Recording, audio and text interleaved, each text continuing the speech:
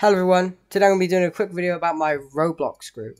So, I've made a Roblox group, it's been a bit of a work in progress for a while, I've been trying to change the name of it, but the link will be in the description, and basically I just want to show it off in this video, because I wanted you guys to know that I have it. So here it is, this is my Roblox group, pixel underscore 07, it's the best name I could think of. Uh, this is the group here, and we've got the 7 Robux, I mean, we're, we're, we're practically rich. And basically, yeah, this is my Roblox group.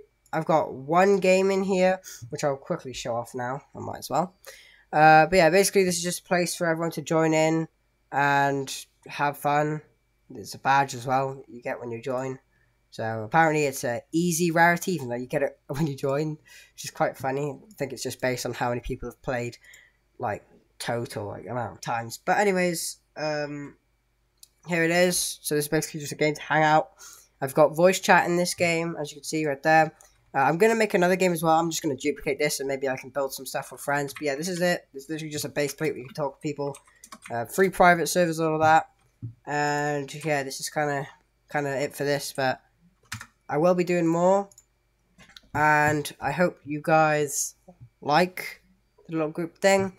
And I'm happy that Roblox, I'm pretty sure anyway, removed the uh, group limit. So I'm pretty sure you can be in more than like five groups now. So it doesn't hurt to join because you're not losing any group spots. So, yeah, thanks for watching and uh, enjoy.